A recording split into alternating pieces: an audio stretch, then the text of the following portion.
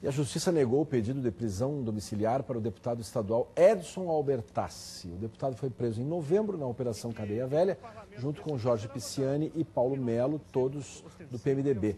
A operação investiga a participação de deputados em esquemas de corrupção. Até ser preso, Edson Albertassi era o líder do governo na Assembleia Legislativa. Essa decisão foi do juiz federal Flávio Lucas, que está substituindo o relator na operação Cadeia Velha, Abel Gomes, durante as férias.